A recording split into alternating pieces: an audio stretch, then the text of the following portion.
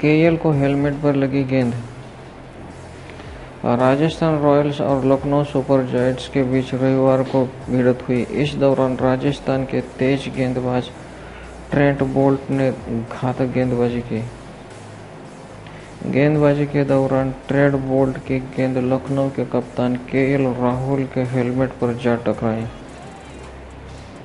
इस दौरान स्टेडियम में मौजूद केएल राहुल की वाइफ अतिया सेट्टी का रिएक्शन देखने लायक था।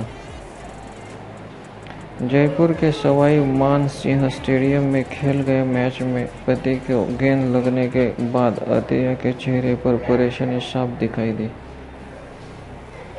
दरअसल तीसरे ओवर में बोल्ट ने राउंड द विकेट आकर के एल को सटीक बाउंसर मारा था। सोशल मीडिया पर इसका वीडियो जमकर वायरल हो रहा है। वायरल वीडियो में लोग अलग अलग कमेंट्स भी कर रहे हैं। इस मैच में के एल ने अर्धशतक पारी खेली। राहुल ने चौवालीस गेंदों पर 58 रन बनाए। के एल के आईपीएल करियर पर नज़र डाले तो वो अब तक कुल 119 मैच खेल चुके हैं। इस दौरान के एल ने 46.9 के औसत से कुल 4,221 रन बनाए हैं। केएल के नाम आईपीएल में कुछ चार शतक और 34 अर्धशतक।